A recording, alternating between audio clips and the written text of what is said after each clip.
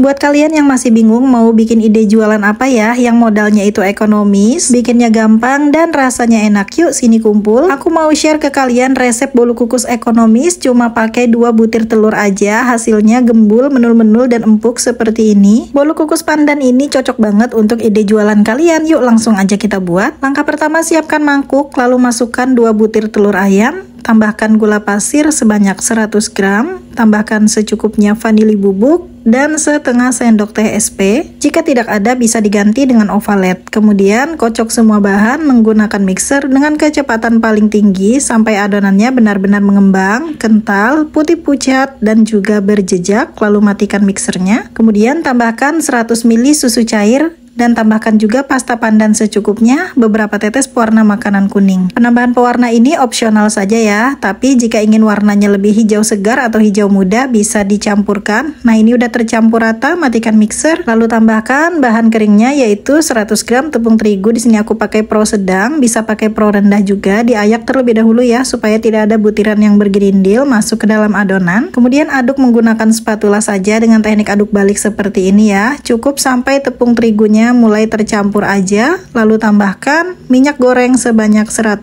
ml. Aduk kembali menggunakan spatula sampai benar-benar tercampur merata, pastikan tidak ada endapan minyak goreng di dasar adonannya ya. Untuk konsistensi adonannya seperti ini, lalu siapkan cetakan olesi sedikit minyak goreng dan untuk adonannya aku masukkan ke dalam piping bag seperti ini supaya lebih gampang untuk memasukkan adonan ke dalam cetakan dan juga tidak belepotan. Untuk mengisi adonannya tidak perlu sampai penuh, cukup 3 per 4 bagian cetakan saja. Diisi semuanya sampai penuh seperti ini lalu hentakkan. Nah ini hasilnya. Siapkan dulu panci kukusan yang sudah dipanaskan, lalu masukkan adonan ke dalam panci kukusan. Untuk adonan ini akan dikukus selama 12-13 menit saja gunakan api sedang. Jangan lupa tutupnya dikasih kain ya supaya uapnya tidak menetes. Setelah 13 menit dikukus, ini bolu kukus pandan mininya udah matang, hasilnya bagus banget ya, warnanya juga bagus, angkat dan tiriskan. Selagi masih hangat, keluarkan dari dalam cetakannya. Udah jadi seperti ini bolu pandan mininya, cocok banget untuk ide jualan, hasilnya super bagus. Cuman pakai dua butir telur aja ya, sangat ekonomis, jadi bolu pandan mini secantik ini. Kalau mau dikasih topping juga boleh, bisa dikasih topping seres ataupun keju, atau mau polosan seperti ini aja juga boleh. Warnanya bagus banget kan, jadi jadi hijau muda cerah seperti ini. Untuk teksturnya ini sangat lembut dan juga empuk. Nah teman-teman bisa lihat ketika dibelah seperti ini. Cara pembuatannya sangat gampang, bahan-bahannya sangat ekonomis. Ini cocok banget untuk cemilan ataupun ide jualan ya. Untuk satu resep ini menghasilkan 9 sampai 10